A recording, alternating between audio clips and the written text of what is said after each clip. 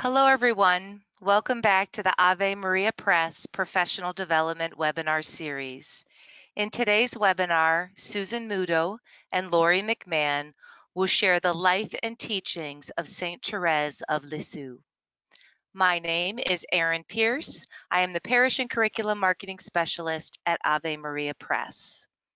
I would like to recognize our webinar partners, the National Association of Catholic Family Life Ministers, the National Association for Lay Ministry, and the Catholic Campus Ministry Association. Everyone in the audience is muted today, but you are able to ask questions. Questions may be sent to the presenters using the um, GoToWebinar panel here that you see, and I will ask as many of those questions as possible at the end of the presentation today. This webinar is being recorded and a link to the recording will be sent to you via email tomorrow. With that, I would like to welcome and introduce our presenters today. Susan Muto, Executive Director of the Epiphany Association, is a renowned speaker, author, teacher, and Dean of the Epiphany Academy of Formative Spirituality. Lori Mitchell McMahon currently serves as a faculty member and program coordinator at Epiphany Academy of Formative Spirituality.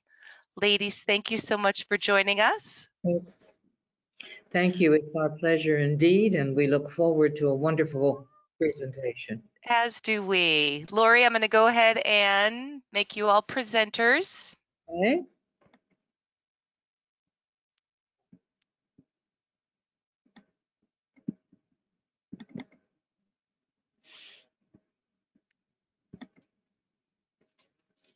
There we go. How's that?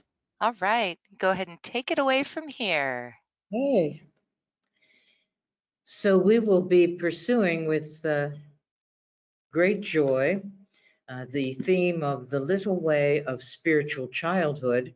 And we will keep in mind as a thread that will weave it together this wonderful text from the autobiography of St. Therese My way is all confidence and love.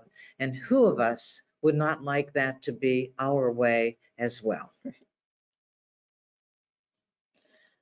So we begin as we like to situate our spiritual master in a little bit of context on the stream of spiritual history. And we can see in this slide just capturing the dates from approximately 1500 through 2000 just some of the masters along the way and to situate Therese right here in the red circle, you can see that uh, France in the late 1800s, Therese having died in 1897. 97.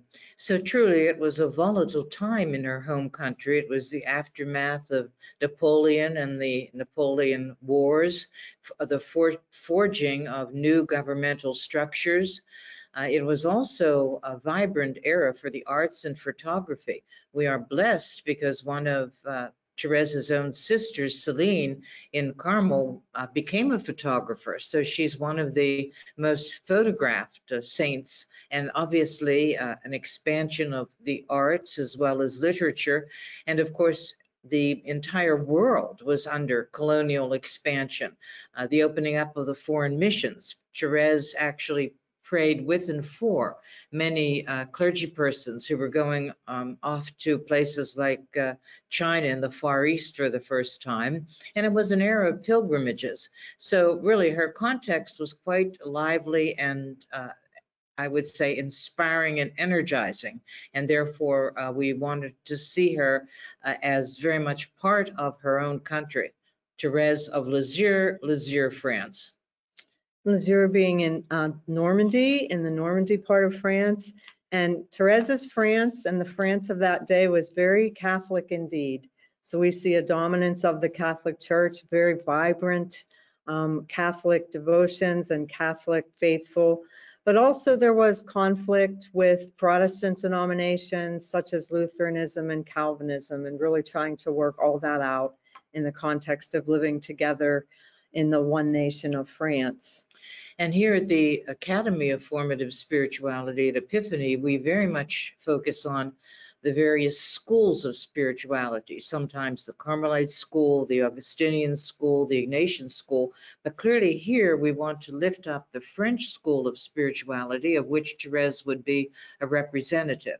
And that school emphasized uh, the devotional life of the Catholic faithful, very much devotion to the Sacred Heart of Jesus, the Immaculate Heart of Mary, and therefore evoking a personal experience, a person to person relationship with our Lord Jesus Christ, a really intimate relationship with Him. And we'll see that as we move into some of the uh, wonderful teachings of Therese. In other words, the quest for holiness that is the centerpiece of the French school is holiness coming through abandonment to God, the beautiful French word l'abandonner, of which uh, Therese incorporates many thoughts about that in her poetry.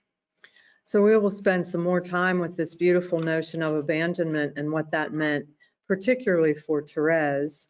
But first, we wanted to introduce her, meeting Therese of Lisieux. You see her dates there, 1873 to 1897 just living to be 24 years of age. But she was born to a very devout family, and in fact, her parents have both been canonized in the Catholic Church. Um, she was the last of nine children. Her parents' names were Louis or Louis and Zélie, and she was born in January in Alencon, which is part of Normandy as well. Only five of the nine children, so Therese and four of her sisters, um, lived to adulthood and survived. What is striking, especially uh, as we enter into her autobiographical accounts, is her whole personhood. You might say her character. She was an intensely sensitive child and really acknowledged that temperament, and her parents did as well. But there was also something that seemed to be speaking deeply in Therese's heart. And it was uh, striking that already at the age of three, she got the idea that someday she would be a religious. And we can gain really interesting insights into Therese's own personality and her own sense of herself in her autobiography. And she was very much struck and wrote many years later about the death of her mother. She was greatly grieved by that. And she later reflects in her autobiography the first part of my life stopped that day she tended to think of her life in three kind of broad phases, and she identifies her mother's death and the intense grieving and, and the way that it really affected Therese with um, as kind of a watershed um, event in her life. Yes, and in the family network, it's clear that uh, Therese's uh, father, Louis, uh, very much doted on her, uh, called her his little queen, she would have to grow up uh, someday from that uh, tag. But uh, no doubt, uh, being lovely and beautiful and uh, missing her mother so much, she was indulged by her family and was there, therefore prone, as we already indicated, to physical and emotional hypersensitivity. But thanks be to God, uh, her older sister Pauline stepped in, stepped up uh, and helped Therese. She was named by Therese a kind of second mother when Therese was 19 years old. But it was another uh, difficult parting when Pauline entered the Carmelite monastery. Uh, at that moment, Therese felt crushed that she had lost her second mother, believing that she would never see her sister again. But of course, God had other plans. It's interesting too how Therese reflects on that, um, the nature of her hypersensitivity, she, she relays to us that even if someone would look at her in a cross way, she would just dissolve into tears. So she understood, especially in retrospect, that this was a huge um, temperamental issue that she really had to navigate. And, and as we'll see, she was um, really aided by grace in the healing of that hypersensitivity. And she does write of what really for her was a, a little miracle on the Feast of Pentecost uh, when she was terribly devastated by these losses and the um, nervous uh, condition that she had to endure.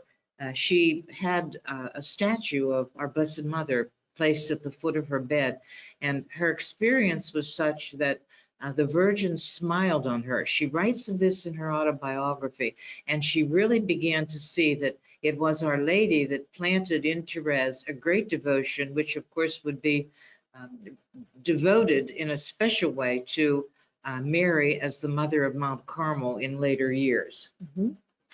So that is an image of the statue that was actually in the home of Therese and her sisters and parents. Yes, Our Lady of Victory. And Therese received her first communion and confirmation then the following year.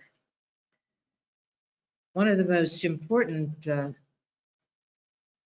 set of paragraphs in uh, the story of a soul is the rendition of of Uh, what Therese felt was her Christmas Eve conversion. This happened at the age of 13, and she notes it specifically Christmas Eve 1886, a very profound conversion that changed her life. It had a lot to do with the fact that she would no longer see herself as the little queen of her father, no, nor want to be. She felt that that was holding her back from Jesus. And so she writes in the story of the soul, I received the grace of leaving my childhood, in a word, the grace of my complete conversion. I felt charity enter into my soul, the need to forget myself, hugely important. God worked to make me grow up in an instant. So Therese has this amazing insight into her own formation story, you could say, that she remembers this formative, what we would call formative event, a deep and profound event of her life, where she re- can, can actually track and trace within her own heart that conversion from a real self-centeredness and being completely indulged by her family, her sisters and her father, to a sense of, we start to trace this little bit of abandonment, an abandonment to the Lord's way, and that kind of pushing her own ego and her own sense of self-importance out of the center of her life and really accommodating and by by the virtue of grace making room for a more god oriented life and this is all when she was just 13 years old Right, and while she will give us the doctrine of the little way of spiritual childhood, it connects to the fact that here she would for, forsake her childish ways. The childish ways of Therese are not the same as the way of spiritual childhood. And it was uh, necessary for her to understand that uh, the person that would arm her to go forward with courage, especially in the suffering that she would endure, was God Himself. And so, linked to this conversion moment was her call to love God more intimately and certainly to move away from the excessive self preoccupation that is childish.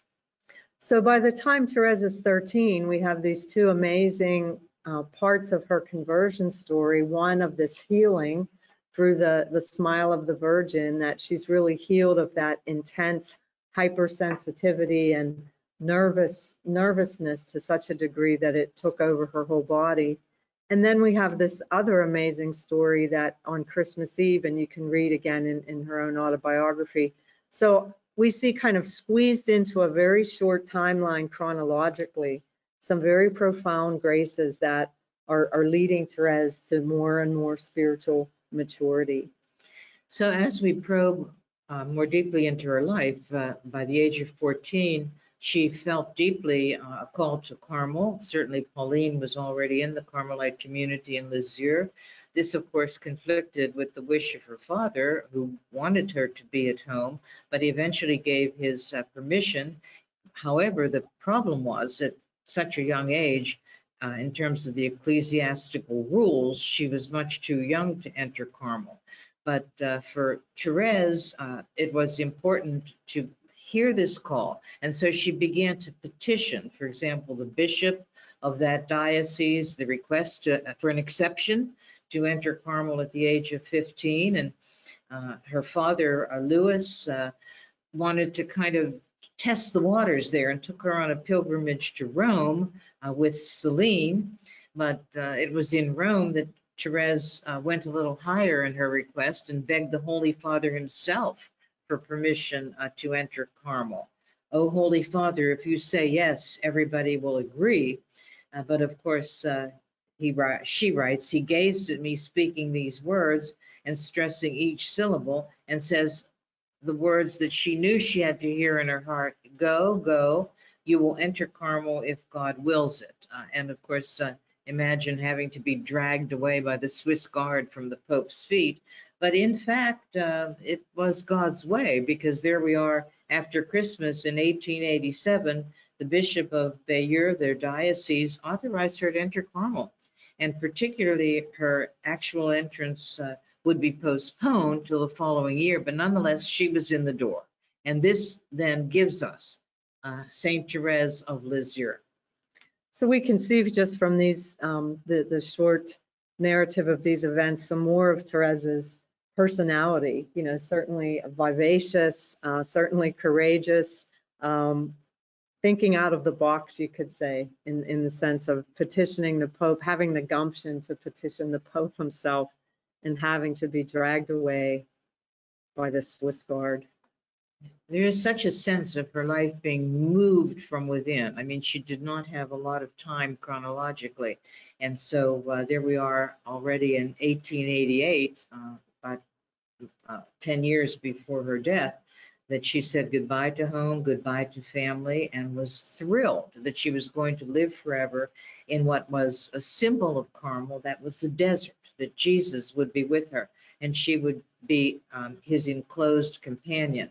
And it was at the age of 15 when she was entering officially into Carmel that she took as her name Therese of the Infant Jesus. You hear in there the little way of spiritual childhood and the holy face, a face on, upon which she would gaze uh, many, many times in her life.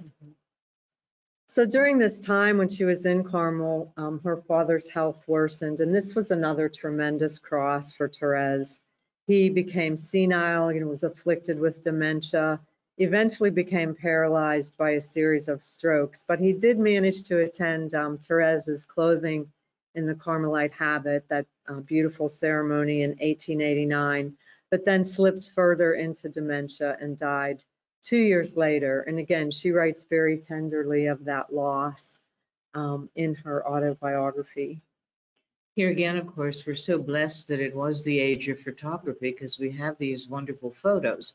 Uh, having witnessed the humiliating demise of her father, Therese interpreted that in a very profound way. She interpreted every little event of life at a deeply profound level and always tried to link suffering her own and those she loved with those of Jesus, you know, scourged and crowned with thorns. And uh, it was uh, not going to be a forever event. Only nine more years were left of her life in Carmel. But there, in the presence of the sisters, uh, something occurred that we never want to forget, and that is she was drawn not to special uh, privileges, but she entered directly into the menial, menial duties of the Carmel, cleaning and laundry and gardening and caring for the elder sisters. And that she felt was how she could live the little way of spiritual childhood and really bring a message of its deepest meaning to the uh, nuns that accompanied her and also eventually to the novices. She was asked to give them some help as well. Mm-hmm. So it was a full Carmel at that time. Uh, normally, uh, there's the uh, fullness of 21, but apparently there were 24 nuns, and uh, this is uh, something that uh, Therese must have loved, just being with other women, young and old, who were dedicated uh, to their spouse, Jesus Christ. So we can see um, in the photograph here on the right, if you can see my cursor, this is Therese, uh, second or third from the left, with her sisters on a laundry day at Carmel. She does tell some very engaging stories about some incidents in the laundry. One, one of the times, one of the sisters was just in a very mean way, just splashing filthy water on Therese. And we have all kinds of stories coming out of the laundry. So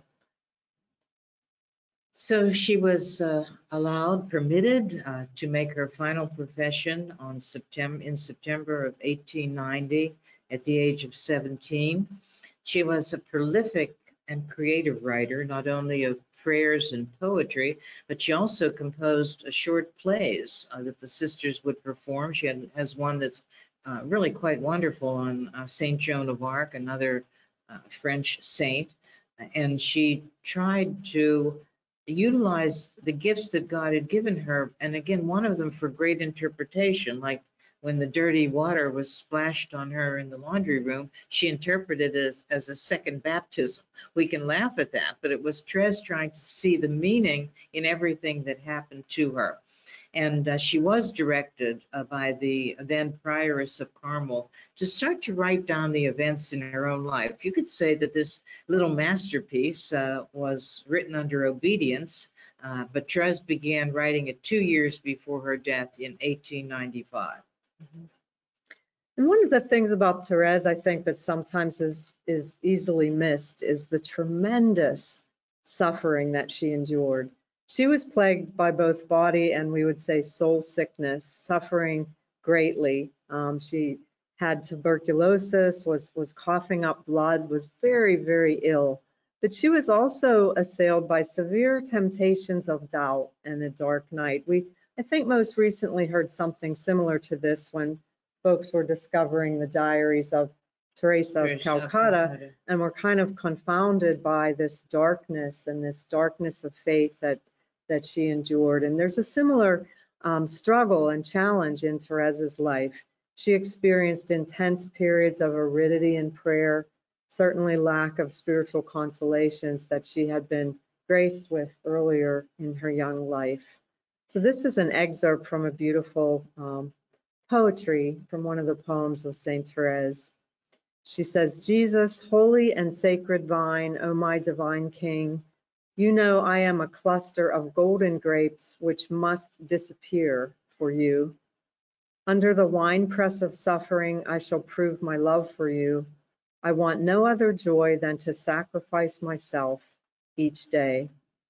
So it's that profound sense in Teresa's heart that she would relate and connect her own suffering and unite that with the heart of Jesus. And she believed in the redemptive power of suffering and the redemptive graces that could help transform the world.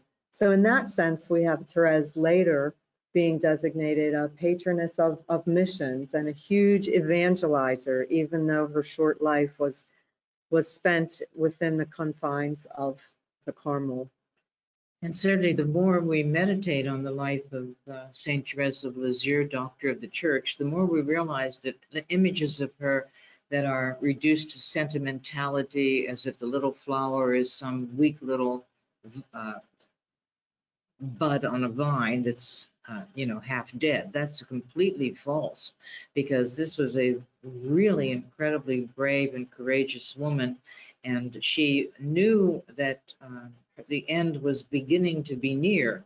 Uh, in Easter of 1896, when she began coughing up blood, there was really no real um, medical solution to tuberculosis at that time. And uh, she was aware that uh, the deepening trials, what St. John of the Cross, whom she writes was her great teacher in Carmel, she said uh, already at the age of 18, the only books that she could read were the collected works of St. John of the Cross. And so she had a definite understanding of his teaching on the dark night of the senses, because certainly with this disease, she reached the point where she could literally taste nothing, and the dark night of the spirit. But uh, with that, uh, the faith grows, and St. John of the Cross tells us in his collected works the only proximate means to union with God is naked faith at the midnight moment. So she wrote in one of her letters, she has a, many, many uh, voluminous writings that are not only prayers and poetry, but also letters. She says to uh, the superior, Mother Marie, up until this time, I had a faith so living and lucid that the thought of heaven was the sum of all my happiness. But now my soul is overrun with an impenetrable darkness, a magnificent description of the dark night of the soul. You must imagine that I have been born in a country entirely overspread with a thick mist, and now all of a sudden the mists, mists round me have become denser than ever. They seek deep into my soul and wrap it round so that I cannot recover the dear image of my native country anymore. Everything has disappeared. Dear mother, what's left now to hinder my soul from taking its flight? The only thing I want badly now is to go on loving till I die of love. Now, it's interesting that we mentioned Teresa of Calcutta. Her name was Teresa, as in Teresa of Avila. But she originally wanted her name to be Therese because of this, because she felt that Therese, young as she was, understood the dark nights of sense of spirit and would go on loving till she died of love. So despite her excruciating suffering, Therese continued to write. And as we'll see in a moment when we take a brief overview of her writings, there are three versions of the manuscript for the story of a soul. So 18 months later, in uh sorry, is my screen still good? No, we see some of your um, email, your inbox. So I think maybe if you click on the slide of the webinar or of the PowerPoint, maybe it'll go full screen. Yeah, sorry, I don't know how that That's happened. okay. Sorry about that. Let me do this. There we go. Okay, yep. Um, Thanks. And so Mhm. she had, um, 18 months later, she died in agony at the age of 24.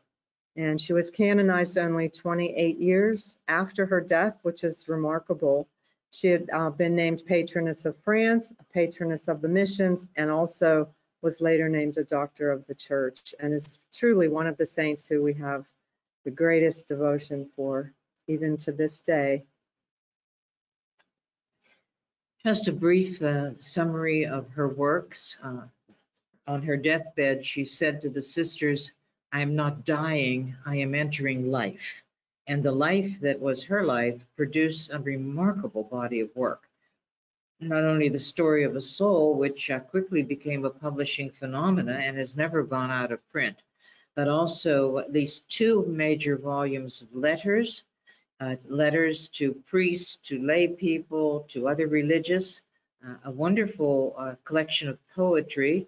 Uh, well done. I mean, people uh, really admire her uh, gifts as a poetess and then a collection of her prayers. So we have all of these books available to us through the Institute of Carmelite Studies. They keep these books in print and certainly there's no doubt that one can get a s- story of a soul in, on many different, uh, from many different outlets. Mhm. So having spent a little bit of time um, just situating Therese in history and then talking about her amazing life story, we wanted to raise up this notion of her little way of spiritual childhood. And we chose for today just three facets of that little way. And she herself defined her doctrine of the little way as the way of spiritual childhood, the way of trust and absolute surrender. And we saw on the initial slide the way of confidence and love. So these are the phrases that Therese herself used to describe this little way. And she was probably the last person that would have expected to ever write anything that anyone else would ever read. It's kind of a paradox of the highest order, the Holy Spirit raising up this young, very seriously ill um, woman who was devout. And no one really in, in Carmel had a sense of this interior life that was so rich and profound. And by some some grace of the Holy Spirit, her sister asking her to write. So it was really after her death and the release of the story of a soul that the world came to know this amazing person and soul and saint. I feel that if you found a soul weaker and littler than mine, you would be pleased to grant it still greater favors, provided, and this is the key now, provided it abandoned itself with total confidence to your infinite mercy. And that is truly the key to the little way of spiritual childhood, l'abandonner. So the first facet of Therese's little way that we wanted to raise up today was the little way of simplicity. And Therese, again, um, teaching us how, how do we learn to love our littleness? She, she loved her littleness and had a deep sense of that, a very real sense. These are her words. I look upon myself as a weak little bird with only a light down as covering. In spite of my extreme littleness, I still dare to gaze upon the divine sun. Let us remain very remote from all that glitters. Let us love our littleness. And then we shall be poor in spirit, and Jesus will come for us, far off as we are. He will transform us in love's furnace. Uh, when um, her works were being examined with the possibility of being named a doctor of the church, they were declared to be without error, totally rooted in the teachings of Holy Scripture and the traditions of the spiritual writers that had preceded her, like another doctor of the church, uh, John of the Cross. But here again, um, very important questions are raised by Therese. Do we love our littleness? We live in an era where everything is big, big, big, big, more and more spectacular. But how can we grow in poor poverty of spirit, see the kingdom of heaven, but also connected by uh, Therese over and over again was this possibility of transformation, that we are being transformed, as St. Paul says, and she loved his epistles. She really read them line by line. We are being transformed from glory unto glory. And this is where we see the sense of this childlike, these childlike attributes and, and facets of Therese's own spirit, this littleness and simplicity very far from childish and childishness. So think of it, the little way of simplicity, what does that mean? Uncomplicated, lacking in gall, guile, childlike, putting to rest the excessively functional pressures that chronically complicate our lives. This is why we uh, turn to Therese for very solid advice in our own era that uh, life is overly complicated. Uh, there's uh, the culture of the lie, as one writer has said, and uh, the commitment to simplicity to try to uncomplicate our lives and not be caught, be caught so much in functional pressures that we don't even have time for God. Because Therese's goal in Carmel was to try to remain in God's presence in the laundry, in the choir, in the garden, with simple attentiveness. Very much connected with the French school. You hear these same th themes echoed in Jean-Pierre de Caussade's Abandonment to Divine Providence, in Brother Lawrence's The Practice of the Presence of God. Mm -hmm. And just one more slide to further explore this little way of simplicity. It also means and carries with it this deep sense of celebrating the sacred in the here and now. Now, so we, we know that Therese was completely immersed in the ordinary, in the routines uh, that were demanded of her, um, gardening and, and laundry and cleaning and pushing wheelchairs for her elder sisters. So Therese really is a wonderful guide in, in showing us how to wait upon reality as it is, not filtering it through this viewfinder of our own complicated expectations, but really being present to the moment and the Holy Spirit in the moment um, with all the tasks that we're immersed in in our ordinary lives. She writes in the story, the closer one approaches God, the simpler one becomes.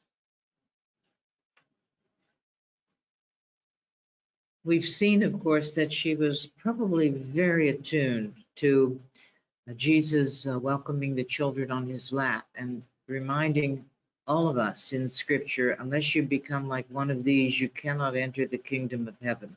And Therese wanted to understand what does it mean to be one of these? So we've already seen that it means to exercise the virtue of simplicity, but it also has a lot to do, this little way of spiritual childhood, with uh, living life uh, in the context of unceasing prayer, that there's no moment, if we're really attentive, when we cannot be living in, in awe and wonder uh, in relation to the mystery that surrounds us.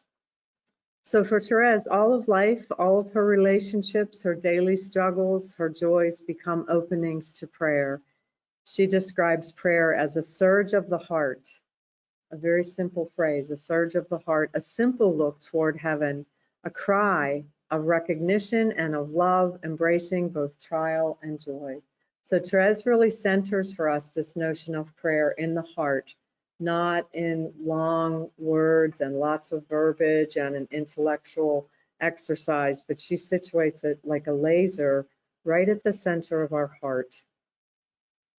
And it's important that Therese really had an opportunity for educating herself in the classical works of the spiritual masters, but she developed an approach to theology that was incredibly formative. It had to do with loving everyday life and letting the experiences that happen to us in the most common way point us to prayer, point us to the mystery.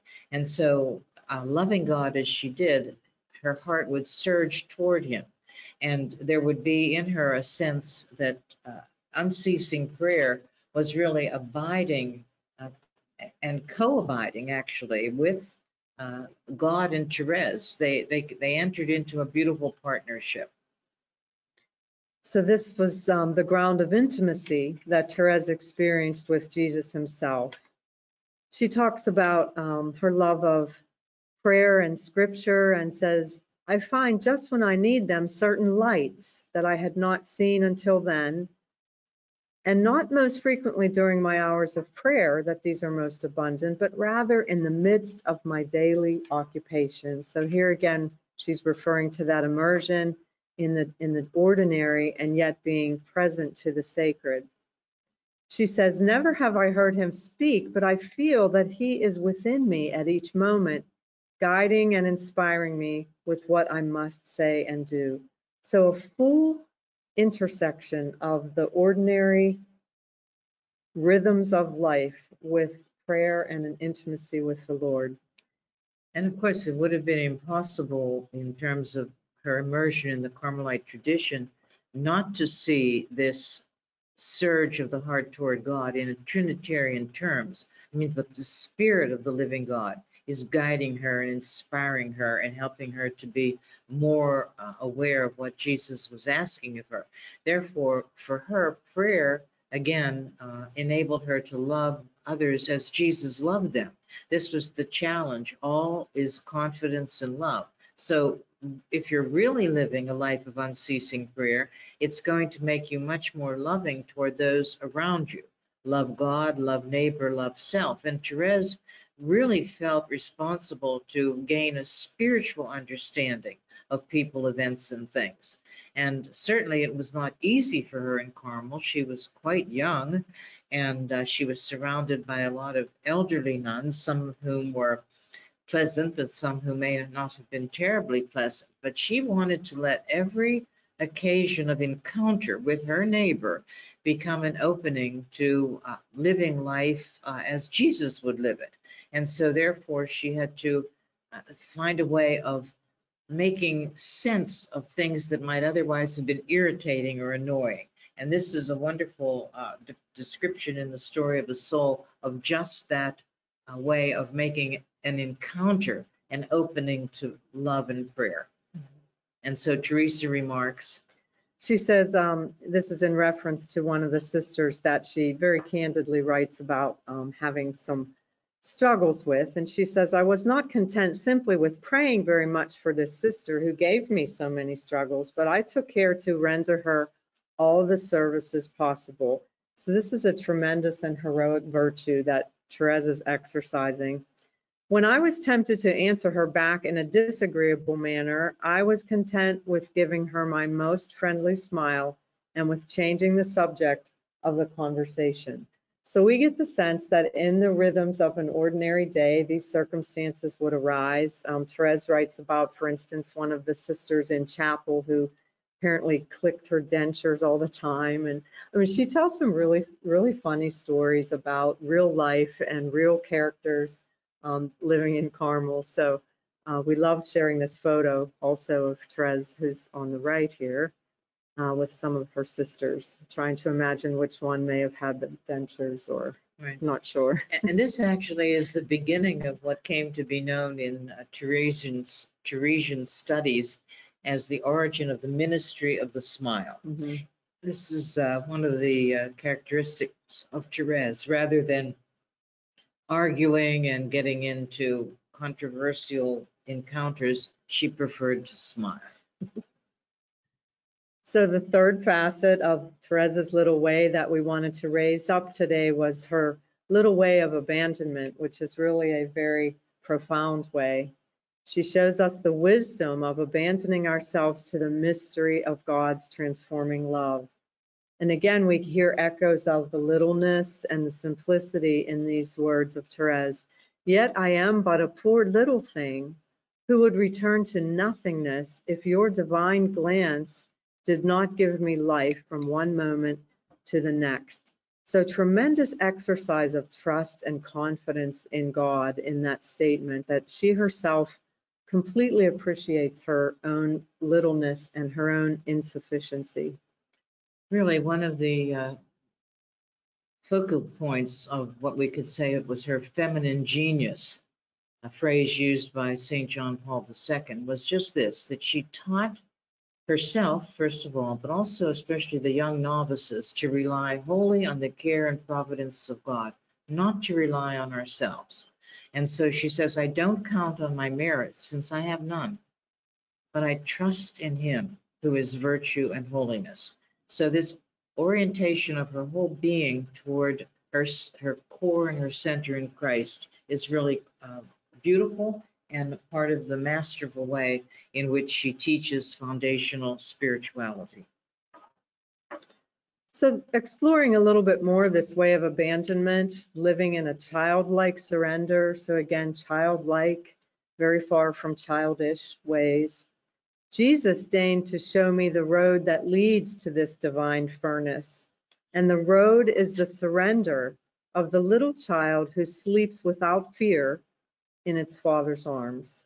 A beautiful quote from Story of a Soul.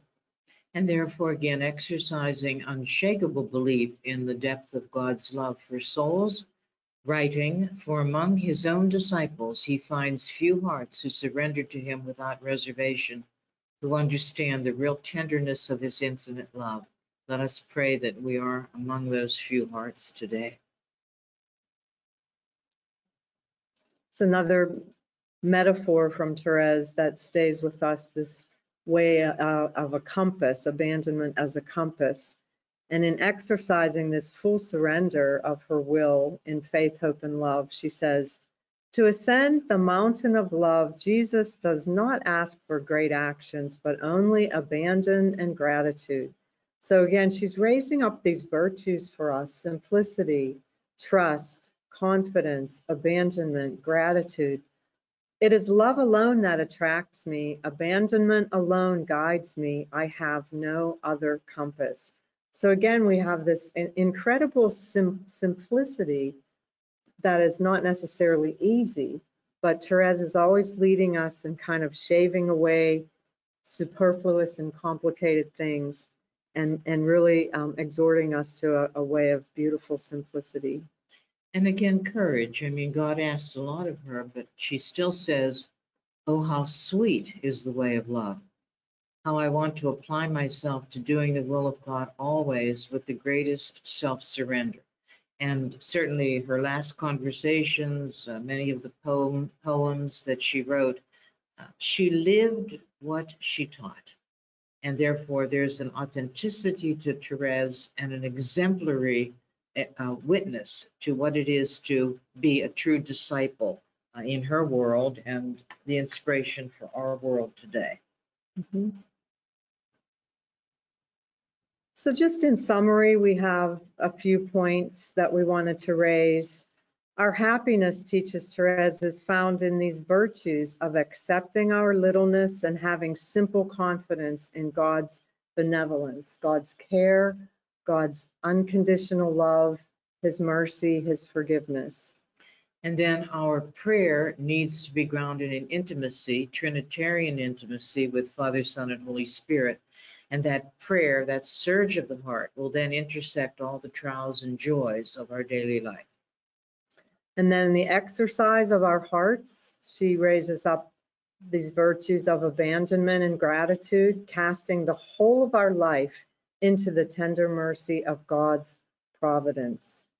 And we wanted to uh, bring these thoughts to conclusion by suggesting that Therese's teaching calls the church back to a fresh and creative expression of gospel holiness that is accessible to everyone, achieved uh, in her little way.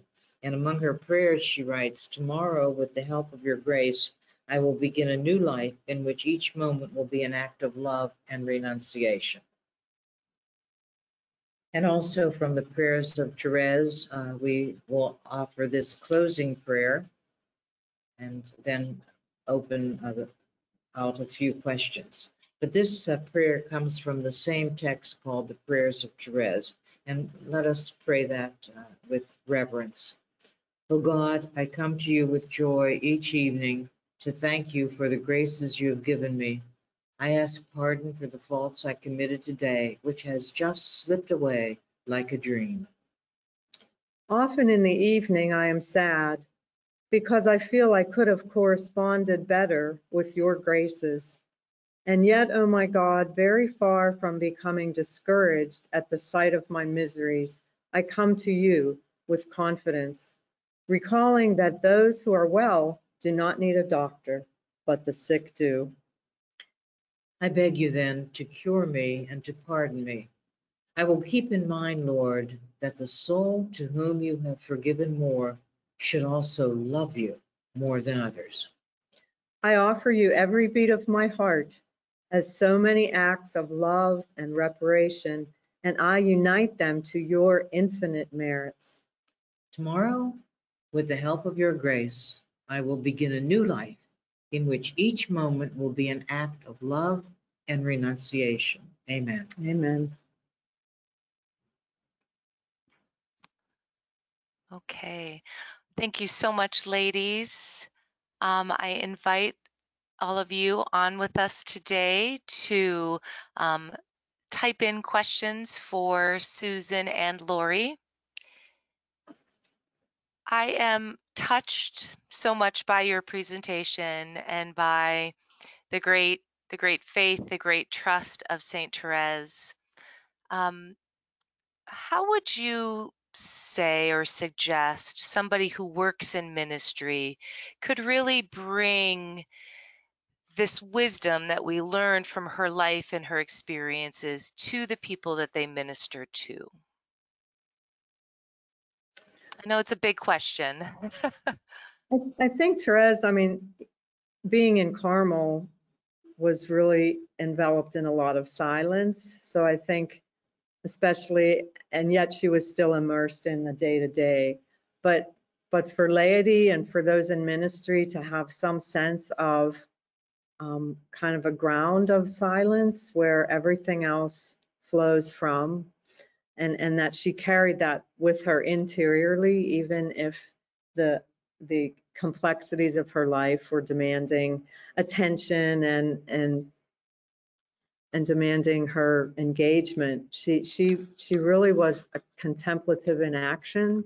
So, so maybe Aaron, what you're pressing towards is that integration of contemplation and action. And, and Therese is such a beautiful Yes. example of that for us. I would also say that there's uh, something um, of great importance in our world, uh, which uh, is often surrounded by vice, to focus on the life of virtue, to really uh, lift up, for example, in the face of uh, falsehood and complexity, the simplicity that is called for, uh, to raise up uh, in a do-it-yourself world uh, projects of self-salvation, the importance of the virtue of abandonment. I think um, our ministry, especially as we try to understand the deepest meaning of discipleship, I, I feel very strongly that we have to focus more. I wrote a book called Virtues, Your Christian Legacy for that reason. I think we forfeit that legacy if we don't focus on uh, the need for a, a heart full of virtue in order to be a disciple. And Mhm. it's, it's interesting that Therese talks really about an exercise of virtue in that short example when she says the ministry of the smile. She was aware of those feelings of, you know, wanting to be combative and maybe come back with a snarky remark at the sister that was frankly driving her crazy.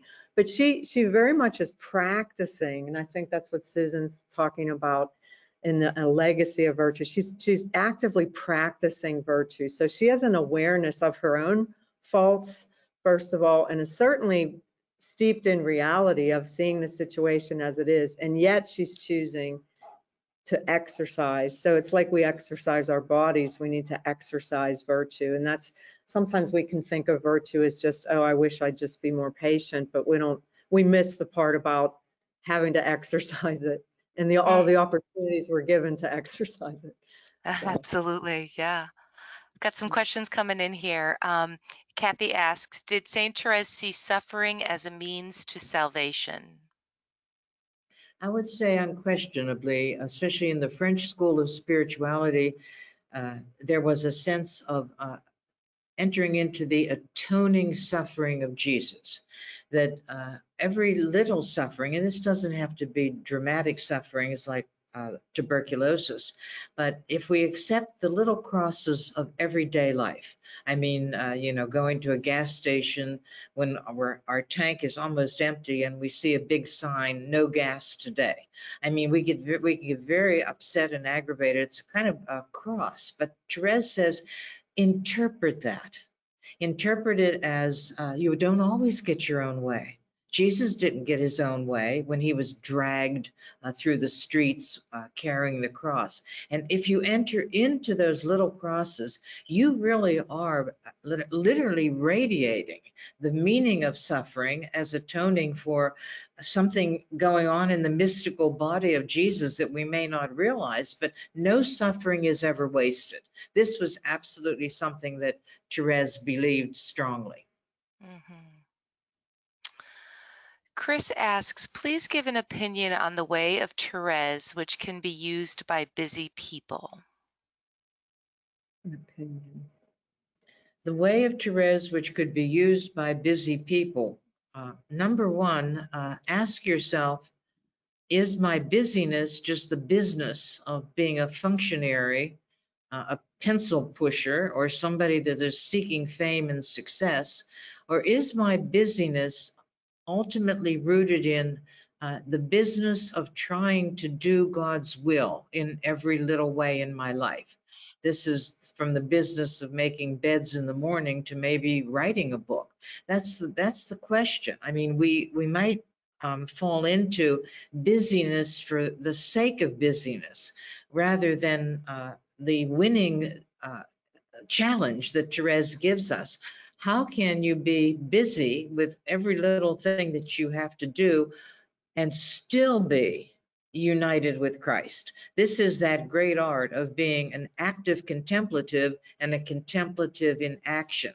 I think Therese certainly was in a cloistered Carmelite community, but uh, all the normal work of life went on. You have to eat, you have to make tables, you have to do laundry. And so there was busyness, but the busyness did not become something separate from the life of prayer. It was totally mm-hmm. integrated.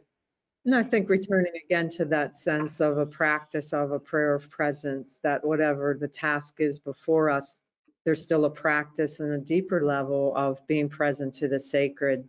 So kind of the sacred reality of the ordinary is, is something that Therese really shows us. Mhm. Well, I'm getting lots of thank yous. Thank you for your insight on St. Therese. Um, people are asking about the prayer that you ended with, um, and I'm happy to say that Susan and Lori are sharing their PowerPoint, their presentation with all of you tomorrow. Um, so I'll put a little note in the email and you can request to get a copy of that from me. Um, Rosemary says, I just want to say that the exercise of smiling all the time really works. I have several friends that have told me that I conquered them by smiling. And, and I would- Therese would be she- delighted. she'd be delighted. Yes.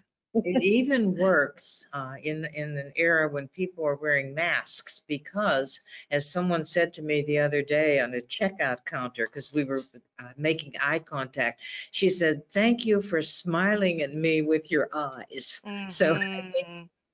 we have to understand that the, any, any little contact, human to human, uh, with a smile, be it of the eyes or of the lips, it actually can be life changing. And I think Therese uh, practiced and recommended uh, as a ministry among um, all kinds of characters that lived in Carmel, her smile. Yes. And we never know what people are suffering with, you know, just as she suffered so much.